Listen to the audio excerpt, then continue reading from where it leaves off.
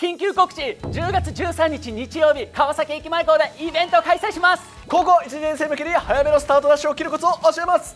申し込みは概要欄の LINE から。皆さんこんにちは武田塾のカノです。です梅沢です。今回は生活習慣について話そう。噛みました？流せば出ないかなと思ったんだけど使いますけれどもこの時期ねみんな生活習慣そろそろ固めてないとやばい時期じゃないですか、うん。そもそもじゃあどんな生活習慣が理想なのかっていうのをね、今一度ここでおさらいしておこうと。そんな話ですね。普通に考えたら直前期がもうマックスハイ効率生活習慣になってるべきなんですけど、そうそうそう逆パターンの人いるんですよね。直前期になるとなんだ逆に崩れてくるみたいな。そうなんだよ。特にさ、もう夏休み終わってから、徐々に崩れ始めて、試験近づいて、さらにどんどん崩れちゃって、ガタガタのまま試験臨みましたみたいなことがいるからうん。これをね、今のうちにどうにかしておきたいと。寝坊して受験会場に行けなかったっていう受験生過去いましたからね。いるのそれ。ちょっと悲惨すぎるからね。それがね、第一志望だともう食いても食い切れない話になっちゃうんで、そうならないようにという話ですね。まずね、この時期に話題に上がるのが朝型にすべきなのか、それとも夜型の子はもう夜型のまま、そのまま行っちゃうのか、これどっちがいいのかって話なんですよね。自分はね、どっちかというと、朝型を意識してたんだけど、たまに夜型な朝型ですね。基本朝方よりみたいなそう、基本朝型。なるほど、なるほど。ん私は朝方にしたかった夜型ですね。憧れのまま夜型うんで。夜型。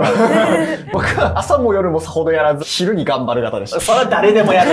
昼は誰でもやるよ。ああ、でも一般的にね受験業界で言われるのって朝型にしようじゃないですか、朝方になりたくなくて夜型をやってる夜型の人はあんまり見かけないというかね。朝型になりたいんだけどなれなくて夜型になっちゃってるみたいな子が多いと思うんですよね、はい朝型のねメリット簡単におさらいすると試験はまず朝から始まるわけだからそれに合わせようとか朝の方が集中力高いよねとか、うん。そういうことが言われるわけですよね、日曜日とか、うん。昼ぐらいに本格指導みたいな、うん。受験生結構よくいるんですけど、僕も言って直前期そんなになってた気もしなくもないんですが、うん。頭をフルスロットル状態に持ってくる、なんか助走の時間みたいのいりません、試験開始がお昼だったらいいんですけど、共通テストの1科目目とかね、なかなかの朝ですからね。そうそうそうそう。普段起きない時間に起きて、ギリギリに起きたみたいな感じで、朝ごはん食べてみたいな感じで準備して、試験会場で試験だってなると、結構ね、本領を発揮できないというか、力をね、100%出し切れない子も結構いるんじゃないかなと思うんですよね。なんかあの、今でも覚えてるんですけど、うん共通テストって朝結構早いんですよ、さっきも言いましたけど、うんうん普通に試験会場に向かう電車の中、あの、緊張より眠気が勝ってましたね。夜型になっちゃってた船沢先生はそのあたりどうしたんですか？今の話聞いて、うん私実は朝方できてたんじゃないか説が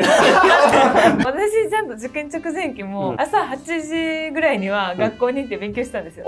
朝型だよ、それ。朝8時に学校にいるってことはさ、もう6時、7時に起きてるってことだよね、きっとね。まあ、そうですね。うん。じゃあさ、朝型で大丈夫です。はい。ってことは、船田先生思い描く朝方っていうのは朝3時に起きてみたいな。そこまでじゃないですけど 5時6時とかね。5時に起きて、はいはい。ちょっと勉強して準備して学校行って7時に学校着いてて勉強してみたいなのがなるほど。朝方かなって思ってました。僕はあの10時に勉強開始できてたらギリ朝方かなと受験生って思ってたんですけど。甘すぎるだろ、甘すぎる。あなるほど。うん。学校ある子だったら、まあ基本朝型ではあると思うんですよ。ただ、入試が近くなってくると、学校そもそもなくなったりとか、行かなくて良くなったりとかして、そこで結構崩れていっちゃう子が多いわけですよね。あと、休みの日にね、やっぱ崩れちゃう子がいる。うん。休みの日は船沢先生どうでした？受験直前は本当にもう休みなんてなかった、うん。日曜日も学校行って勉強してたんで、大きく崩れはしなかったかなと思うんですけどもともとはめっちゃ夜型なんです、なるほど。はい。僕、日本史が一番得意科目だったんですね。はい。で、1科目目日本史なんですよ。うん。朝一の、うん。で、普段過去問とかで100点取ってたんですよ、うんセンター時代。ですけど、85点でした。ね。なるほど。しかも結構ミスってるんですよ。これは、起床時間のせいでしょうか？もしかしたらね、頭がちょっとボケちゃってた可能性はね、あねりますよね。ただね、これ難しいのが、早く起きた方がいいのはわかるんだけど、どうしても体質的に夜型なんですっていう子結構いると思うんだよね。自分自身もね、実はそうだと思ってたんですよ。夜型だと思ってずっとね、生きてきて、ただ、今になって思うのは、夜型って思い込んでたな、みたいな。絶対にもう体質的に朝型になれない夜型って、割合ね、相当低いらしいんですよね。結局、現代のそのブルーライトが、まあ、いろんな要因によってそうなっちゃってるだけで、実は遺伝的には朝型の人も普通に多いらしいんですけどね。朝の動画とかでね、光で起きろとかよく言ってますけどね、光を軸に起きたら絶対朝方になっちゃうんですよね。はい動物的には本来そっちの方が正しいのかもしれないですね。暗くて周り見えないですからね、夜はね。朝早く起きるための工夫はね、こんな動画とかでも紹介してるわけなんですけど、続いて、この時期、睡眠時間どうしたらいいですかって質問、これもよく来るわけですよ。この質問する裏側には、睡眠時間削って勉強時間増やさないとやばくないですかみたいな。どう思います船沢先生？私はうん睡眠時間を削るっていうのは、はありきたりな答えですけど、うん。おすすめはしないですおね特に私とか寝ないとやっていけないタイプなので、うん。明らかにパフォーマンス落ちるんですよ、うん。せっかく朝学校行ってはい。勉強してるのに、うん。頭が働き始めるのん。11時とか、うん夜とかもねいろいろやることあるし、うん。受験生と言いながらもあこれもちょっとやりたいなとかあお風呂ゆっくり入りたいなとかあったんですけど、できるだけ睡眠時間を確保するようにしてましたね。寝不足だと、まず脳が冴えるまでの時間めっちゃかかるのと、やっと冴えてきたと思っても、お昼食べて2時3時ぐらいになってきたら、もうめちゃくちゃ眠くなっちゃって、今度睡魔と戦って勉強とかじゃないみたいな時間帯が来たりとか、結構ありますよね。睡眠不足の人ってうん一生目覚めなくないですか？人と喋ることはできるけど、うん集中して勉強に向かうとか無理みたいな。電車のさ移動中とかもさ、はい普段だったら参考書広げて本読んだりとかねできるかもしれないけど、寝不足の時ってもう寝るしかないみたいな時ありますよね。たまま寝てました電車で。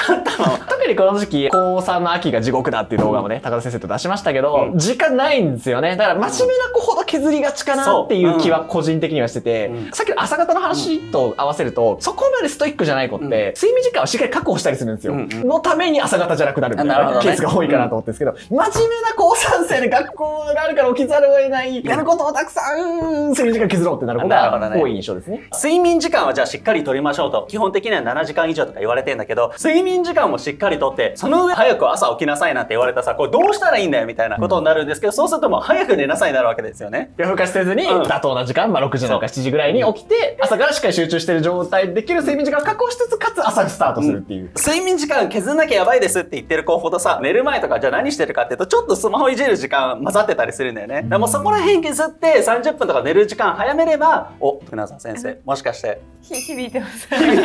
寝る前にいじっちゃうタイプ。いじっちゃうタイプ。受験生で今結構危機感感じてるはずなのに寝る前にとかさ全然関係ないスマホいじっちゃってる子絶対いると思うんだよね。これなくしていくのがまずね何よりも大事じゃないかなと思いますね。睡眠時間を削らずに、勉強時間って上限がある程度1日の中である、特に現役生で学校があるってなったらよりだと思うんですけど、その中で収まるかなっていう計画でやってたっていうことですか？睡眠時間を削らずとも取れる勉強時間の中で、東大合格まで必要な量はできるだろうみたいな計画だったのか、間に合うかどうかは別として睡眠最優先みたいな感じなのかっていう。そうですね。私は自分の中で勉強する時間はここからここまでみたいなのがあって、それぐらいで終わるかどうかっていうよりかは終わらせるぞみたいな感じでもうこんだけだから勉強できる時間が何時間としたら教科で割り振ったらまあ大体これぐらいずつかなってその中で受かるためにどう内容を変えていくか、うん。時間を受かるために増やすとか。受かるためにこれだけやりたいから時間を増減するっていうよりかはこの時間の中で受かるためには内容をどうすればいいか。っていうふうに考えてやってました。ね。睡眠時間削って勉強時間増やさなきゃいけないですかって思考の子が切り替えなきゃいけない考え方としては必要最低限の睡眠をもう7時間とかじゃあ絶対取るって決めたらもう24時間の中で残された勉強時間って決まってくるからここの量に関してはもうどうしても上限あるからそれを睡眠時間とかを削って無理に増やすんじゃなくていかに質の面で勉強量をね増やしていくか勉強効率を上げていくかって方に今度思考を変えていく必要があるかなと思いますね。そういう意味で言うとなんか勉強法ってそもそも量に相当影響してきますよね。10の成果を出すのに3時間かかる人もいれば、うん8時間でも5の人もいるわけだから、同じ成果をより短時間で出すかっていうところ頭使う方が睡眠時間削るよりは重要度相当高いっていうのは間違いなくありますね。ということで今回は朝方夜型から1日の勉強の時間の考え方まで触れてきたわけなんですけれども、うん。見てる子の多くの今のパターンを予想すると、まず朝はそんなに早くないし、寝るのもスマホをいじっちゃって遅くなって日々睡眠不足の中勉強を眠気と戦ってるって子が多いと思う。夜も遅くて、スマホにいじって寝るのも遅くて、うん。睡眠時間が長いわけでもない、集中力も低い。そう。最悪じゃないですか。そういう危機的な子が多いと思って今回の企画話してるわけなんで、そうだよって子はね、コメント欄にぜひね、書いて、これからね、改善に向かってもらえたらと思います。今回は以上です。武田塾の公式 LINE から受験相談がより気軽にできるようになりました。最寄りの校舎にチャットで質問もできます。武田塾の公式 LINE は概要欄のリンクから。